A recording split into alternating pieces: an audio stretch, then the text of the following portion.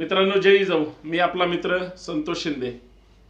आपण वेगळ्या वेगळ्या विषयावर एकमेकाशी संवाद साधत असतो मत मांडत असतो. आपल्या देशाप्रतीच्या भावना आपल्या राज्याप्रतीच्या भावना आपण आपलं मत म्हणून व्यक्त करत असतो. आपण सडेतोड बोललं पाहिजे आपण मनातलं बोललं पाहिजे आपण लोकांसाठी बोललं पाहिजे याच्यासाठी आपला हा प्रपंच. मी आपणाला कधीच म्हणत नाही माझं चॅनल सबस्क्राईब करा किंवा व्हिडिओ संपूर्ण पहा. तो तुम्हाला पाहायचा असेल मत लक्षात घ्यायचे असतील तर तो तुमचा प्रश्न आहे. परंतु आपण बोललं पाहिजे. आपण आज देशाच्या सर्वोच्च पदाच्या निवडणुकीच्या निमित्ताने आपण चर्चा करत आहोत. आपल्या देशातील सर्वोच्च घटनात्मक पद म्हणजे राष्ट्रपती. राष्ट्रपती पदाची आपल्या देशामध्ये निवडणुका जाहीर झालेल्या आहेत. चार उमेदवार आपल्यासमोर आलेले आहेत. राष्ट्रपती पदासाठी सत्ताधारी केंद्रातल्या मोदी गटाने सन्मान्य द्रौपदी कुर्मू मॅडम यांना उमेदवारी दिलेली आहे. तर विरोधी पक्ष सोनिया गांधी गटांनी यांना आहे. खरं तर आपण दोघांवर चर्चा करत असताना उपराष्ट्रपती पदाबद्दल सुद्धा आपण बोललं पाहिजे. कारण उपराष्ट्रपती पदासाठी पश्चिम बंगालचे सन्मान्य राज्यपाल ज्यांनी तिथल्या राजकारणामध्ये गोंधळ घातला ते धनकर यांना उमेदवारी दिली तर विरोधी पक्षाने गांधी गटाने सन्माननीय मार्गरेट अल्वा मॅडमला उमेदवारी दिली. आपण राष्ट्रपती पदाबद्दल बोलायचंच म्हटलं. माझं वैयक्तिक असं मत आहे की राष्ट्रपती हा पुतळा नसावा. राष्ट्रपती हा उठ म्हटलं की उठणारा आणि बस म्हटलं की बसणारा नसावा. उमेदवारी देताना तुम्ही अनुसूचित जातीचा जमातीचा म्हणून देता परंतु ज्यावेळेस पदावर बसतात आपल्या देशाचा सर्वोच्च मान आहे ज्यांनी जातीवादाला थारा दिला नाही पाहिजे धर्मवादाला थारा दिला नाही पाहिजे कुठल्याही पक्षामध्ये विद्वेषाचं राजकारण पसरवणाऱ्या माणसाला महोदयांनी पाठीशी घातलं नाही पाहिजे. कुठल्याही घाणेरडी विचारसरणी या देशामध्ये रुजेल आणि सामाजिक तेढ निर्माण होईल अशांना पाठीशी घातलं नाही पाहिजे. आपल्या देशाचा विकास दर हा खाली खाली चाललाय. शून्याचं सुद्धा त्यांनी सर्कल आता म, पाताळात घातलंय. अशा सरकारला विकासाचं बळ देणारा खरं तर सन्मान्य राष्ट्रपती महोदय असले पाहिजेत. आपल्या धर्मात आपल्या जातीत आपल्या देशात फक्त हेच गोष्ट जिवंत आहे का? माणूस म्हणून आपण विचार करणार आहोत की नाही? आपला राष्ट्रपती हा धर्मनिरपेक्ष असला पाहिजे. आपला राष्ट्रपती हा सर्वांना सोबत घेऊन जाणारा पाहिजे. आपला राष्ट्रपती हा पुतळा नसावा आपला राष्ट्रपती हा माणूस असावा. आपला राष्ट्रपती पुतळा नसावा तर तो विकासाचं गणित गुणाकारामध्ये त्या ठिकाणी करणारा असावा. आपला राष्ट्रपती हा जातीयवाद्यांना पाठीशी घालणारा नसावा. आपला राष्ट्रपती हा धर्मवाद्यांना राज्य तोडणाऱ्यांना देशाची फाळणी करणाऱ्यांना चुकीचे वक्तव्य करणाऱ्यांना पाठीशी घालणारा नसावा. सगळ्यांना समान सूचना समान कार्यक्रम आणि सगळ्यांना समान वागणूक देणारा असावा. आपल्या राष्ट्रपतीचा तो वेगळाच निहार आहे. परंतु आपले सन्मान्य राष्ट्रपती महोदय रामनाथ कोविंद साहेब आपल्या देशाच्या सर्वोच्च पदावर बसले होते. राष्ट्रपती म्हणजे तिन्ही दलाचे प्रमुख असतात. आणि त्यांचा हा सर्वोच्च सन्मान केला पाहिजे. घटनात्मक पद आहे देश आणि देशावरचा अंकुश. कुठलीही गोष्ट ज्यावेळेस राष्ट्रपती महोदयांना आता त्या ठिकाणी निवड जातं.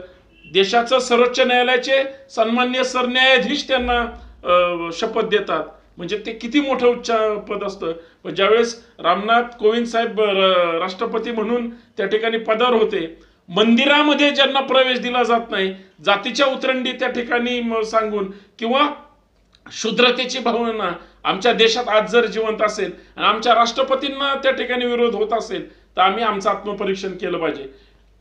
अथंग विचारांनी गजबजलेल्या देशामध्ये राहत असताना आणि लोकाभिमुख धर्मनिरपेक्ष लोकशाही आमच्या देशामध्ये नांदत असताना आमच्या इथं अजून सुद्धा मग तो अं, छत्रपती राजा असू द्या किंवा राष्ट्रपती असू द्या त्याची जात पाहिली जाते आणि प्रवेश दिला जात नाही. शूद्र ठरवलं जातं. इथली व्यवस्था ही वर्णवर्चस्वावर जर असेल तर आमचा राष्ट्रपती ह्या धर्मवादी वर्ण व्यवस्थेला असावा. असं होतं का? असं होत नाही. एका एका विचारधारेचा पक्ष देशामध्ये सत्तेवर असतो आणि साहजिक आहे त्यांचाच एखादा उमेदवार हा राष्ट्रपती पदाचा असतो. सत्ताधारी आणि विरोधी सगळ्यांनी एकत्र मिळून तो दिला तर सार्वभौम लोकशाहीला तो गाडा चांगला हाकला जातो. मात्र निवडणूक प्रक्रिया असते आपला आपला ताकद दाखवण्याची वेळ असते.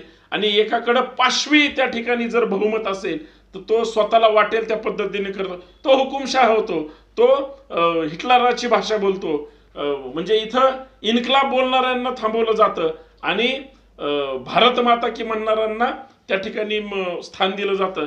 अशी जर आमची म्हणजे फ्लेक्झिबल लोकशाही आणि राजकीय व्यवस्था झाली तर मग आमचे राष्ट्रपती कुठल्या गोष्टीचा किंवा शब्दाचा गोडवा गातील आमच्या राष्ट्रपतींना जर मग पक्षाची उमेदवारी मिळालेली असते म्हणून जर आपल्या देशाचे देश चालवणारे सर्वोच्च नेते जर राष्ट्रपतींना पुतळ्यासारखे हे करत असतील आणि वाईट या गोष्टीचं वाटतं ज्यावेळेस सन्माननीय कोविंद साहेब राष्ट्रपती होते त्यावेळेस दोन तीन वेळेचे असे प्रसंग आहेत की देशाच्या पंतप्रधानासमोर जर राष्ट्रपती जर वाकून त्या ठिकाणी उभे राहत असतील तर अशी लोकशाहीचा आपण चिकित्सा केली पाहिजे.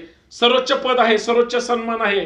राष्ट्रपती म्हणजे आपला श्वास आहे अस्मिता आहे देशाचं प्रतीक आहे. जगाला हेवा वाटावा असा आपला देश असला पाहिजे. जगासमोर आपण कधीही कम म्हणजे वाकून नमस्कार केला नाही पाहिजे.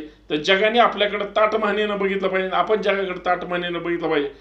त्या देशाचे राष्ट्रपती जर आपल्या पंतप्रधानासमोर वाकत असतील तर आमची राष्ट्रपती पदांचा जर पुतळा होणार असेल तर आपण विचार केला पाहिजे संशोधन केलं पाहिजे. म्हणून राष्ट्रपती हा पुतळा नसावा. राष्ट्रपती हा व्यक्ती स्वातंत्र्याचा आवाज असावा. राष्ट्रपती हा संघर्षाचा आवाज असावा. राष्ट्रपती हा या विकासाचं एक वेगळं मॉडेल असावा.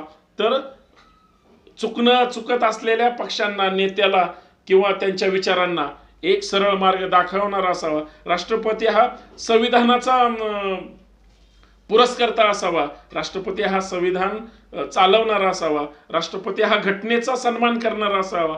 राष्ट्रपती हा राष्ट्रपती पदाची गरिमा राखणारा असावा. परंतु लोकशाही धोक्यात आणणारा आणि राष्ट्रपती हा व्यवस्था त्या ठिकाणी मूळ विचारधारेचा जो गाशा गुंडाळून पुढे घेऊन जाणारा नसावा तरच मग आपला देश हा वैचारिकदृष्ट्या जिवंत राहू शकतो. अन्यथा राष्ट्रपतींचा जर पुतळा झाला तर आमची लोकशाही कुणाचं गीत गाईल कुणाचं नंदनवन फुलवेल? आणि कुठल्या आम्ही भारताचे लोक म्हणून शपथ घेताना आम्ही जर आमच्या मनात द्वेष मत्सर आणि रागच असेल तर तसा राष्ट्रपती हा आमचा नसावा. अशी लोकशाही बळकट ठेवण्यासाठी जर द्रौपदी कुर्मू मॅडमला उमेदवारी दिली जात असेल साहजिक आहे. द्रौपदी कुर्मू मॅडम आदिवासी कुटुंबातून त्या ठिकाणी त्या प्रतिनिधित्व करतात. परंतु आदिवासींच्या न्याय हक्काचा आवाज त्या जर संसदेच्या आणि राष्ट्रपती भवनातून कारभार करणाऱ्या आणि सूचना देणाऱ्या विचारांच्या जर असतील त्या जर पुतळा होणार नसतील तर त्यांचा सन्मान त्या ठिकाणी करा. राष्ट्रपती कुणीही येऊ द्या. सत्ताधारी सुद्धा खासदार आणि आमदार फोडून जर विरोधकांनी त्यांची बाजू मांडली, तर जसवंत सिंग साहेब सुद्धा त्याच भाजपच्या विचारधारे मानणारे आहेत. जशा भाजपच्या विचारधारेमध्ये पूर्ण तयार झालेल्या द्रौपदी कुर्मू मॅडम असतील तर आर एस एसची विचारधारा त्यांच्याही मनात आहे.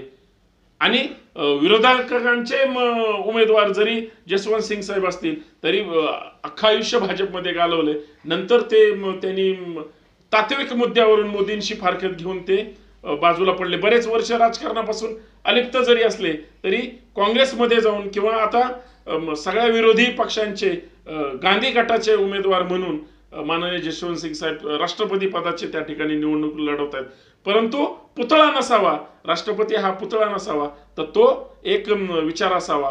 त्याच पद्धतीनं उपराष्ट्रपती उपराष्ट्रपती पद सुद्धा फार मोठं आहे. त्याच पद्धतीनं त्यांची विचारधारा त्यांची ब- प- काम करण्याची पद्धत. जर धनगड साहेब हे त्यांच्याच प- प- पक्षाच्या विचारांचं काम राज्यपाल पदावर जर करत असतील जसं आमच्या महाराष्ट्रात राज्यपालांच्या माध्यमातून घडतं हे संशोधनाचं आहे.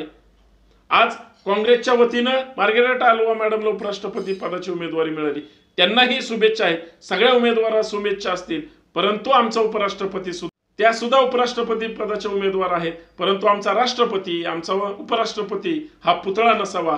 हा सर्वांग सुंदर विचारांचा आणि सत्यमेव जयतेच्या धागेला पकडून भारताचं संविधान लोकशाही पद्धतीनं नांदवणारा असावा. पुतळा याच्यासाठी नसावा. कारण मला माझ्या देशामध्ये पुतळ्याच्या राजकारणामध्ये विचारांच्या राजकारणामध्ये एखाद्या सभागृहाच्या बाहेर पुतळे उभे केले जातात. सगळ्या महापुरुषांचे पुतळे असतात. नतमस्तक व्हावं तर त्यांच्या विचारांना वंदन करावं असं वाटतं. पण त्याच पुतळ्यांचे विचार त्या सभागृहामध्ये चालतात का? हा खरा महत्त्वाचा विषय. कारण पुतळे बाहेर उभे करून त्यांच्या विचारांचा खून जर सभागृहामध्ये मग ते संसद असेल किंवा विधिमंडळ असेल अं, विधानसभा असेल किंवा लोकसभा राज्यसभा असेल जर त्या समाज सुधारकांचा महापुरुषांच्या विचारांचा खून जर सभागृहाच्या आतमध्ये होणार असेल तर अशी लोकशाही असं प्रशासन असे संवैधानिक मूल्य जर आमच्या लोकप्रतिनिधी मोडणार असतील तर तो त्या विचारांचा त्या पुतळ्यांचा सुद्धा वैचारिकदृष्ट्या खून असतो हत्या असते असं होऊ नये. याच्यासाठी राष्ट्रपती असो किंवा उपराष्ट्रपती असो म स्त्री असो किंवा पुरुष असो जर तो त्या पदावर गेला तर तो पदाची गरिमा राखणारा एक सर्वोच्च सरसेनापती असावा. तिन्ही दलाचा प्रमुख हा पुतळा नसावा. देश चालवणारा व्यक्ती हा पुतळा नसावा. उठ म्हटलं की उठणारा आणि बस म्हणलं की बसणारा असा राष्ट्रपती नसावा. एवढंच या माध्यमातून आशा व्यक्त करतो. कारण भारतीय संविधान जिंदाबाद म्हणायला आणि संविधानाच्या विचाराने हा देश चालवायला आम्ही सगळे भारताचे लोक आम्ही भारतीय म्हणून जातीच्या धर्माच्या